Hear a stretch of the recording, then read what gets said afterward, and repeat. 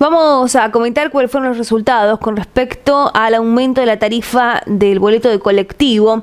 Habíamos comentado que en el día de ayer se había realizado la comisión y ya se obtuvieron los resultados. Se permitió el aumento de la tarifa de colectivo, pero solamente si se produce escalonadamente. Es decir, que para principios de octubre ya el pasaje va a costar 4 pesos y para el primero de diciembre va a estar costando el viaje del pasaje 4,50.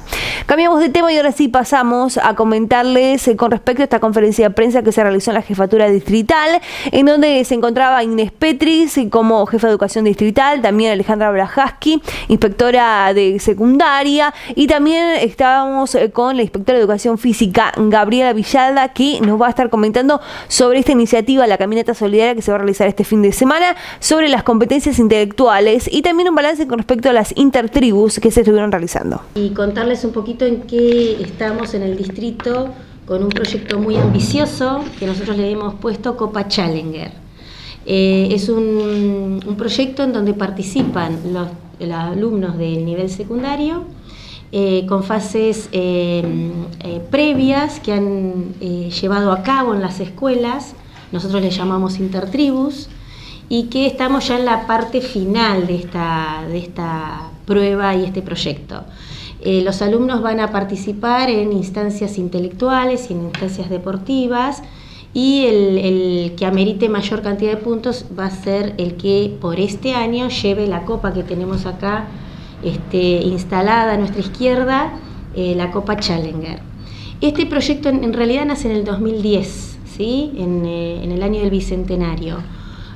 por una iniciativa en realidad este, de de que participe y, eh, todo el distrito en alguna actividad. Y el profesor Dinolfo, que hoy nos acompaña, fue promotor de esta idea con algunas actividades en ese momento y bueno, hoy la tenemos eh, en esta instancia de, ejecución. No sé si Gonzalo querés contar un poquito cómo nace todo esto. en el 2010, con el motivo del Bicentenario, se buscaba realizar un proyecto que abarcara todas las escuelas y que sea transversal entre las materias, es decir, las materias de estudio, historia, geografía, matemática, inclusive lo que es educación física.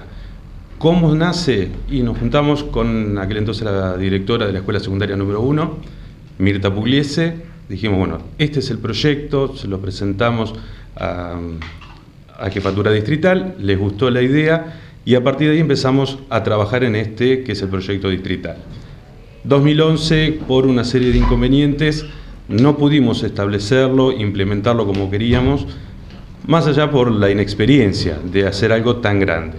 El año pasado lo hicimos en la escuela secundaria número uno, que se comienza con los torneos de intertribus, con excelentes resultados, los chicos participaron, los docentes participaron, directivos, y este año dijimos, bueno, es hora de hacerlo distrital, nos reunimos con directivos de todas las escuelas secundarias, acá hay que aclarar que participa tanto pública como privada, y este año ya lo pusimos en marcha bien todo el proyecto distrital.